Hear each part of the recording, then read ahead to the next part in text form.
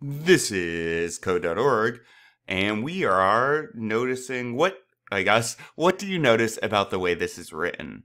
Uh, well, it's spaced out a lot. I might actually zoom out, guys. It's spaced out a lot. Uh, is it easier to read than the previous one? Yeah, the previous one was a block of mess, right? It's spaced out nicely. There's also these multi-line comments or just comments at points.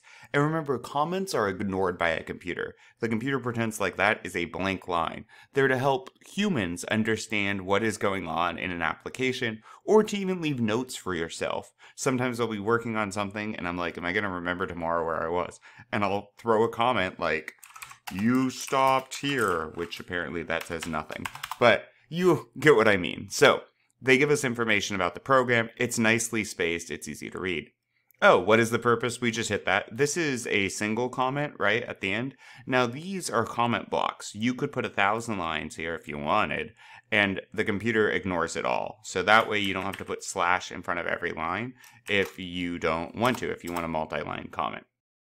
Are there, are there, are they displayed in the console? No, so these won't be displayed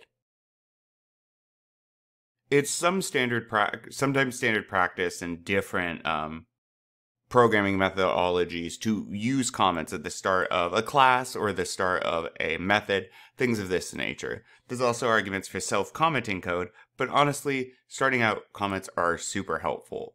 And we'll get to see how we can use them as we move through this. But basically, this is a multi-line comment, and just so you know, it's nice to have that extra star there. This works just fine. The only thing that's required here is that and that for a multi-line comment.